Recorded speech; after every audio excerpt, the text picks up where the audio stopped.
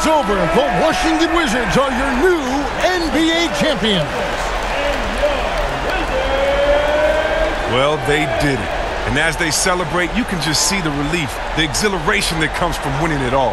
You have to hand it to the entire organization.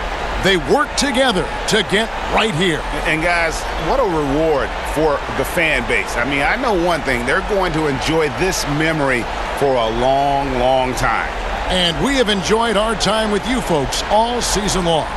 This is Kevin Harlan saying so long. Have a wonderful summer.